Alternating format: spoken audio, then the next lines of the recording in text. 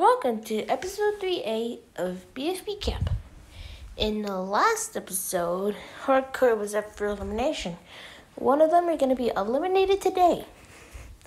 We got four votes today. So Eraser and Pello got the most votes with two. No, no one else got votes. So let's, for a tiebreaker, we're going to see who got the votes first. The final one safe is. Well, I gotta say it. Hello. You are safe.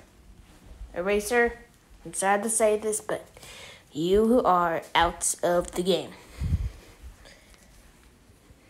Eraser, you are out. Alright.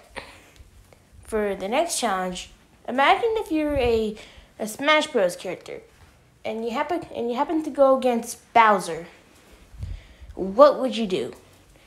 That's a challenge. The challenge is to find different ways to defeat Bowser from Smash Bros. Yeah. Anyways, I'll see you in the next episode. Just try to find some ways how to defeat Bowser.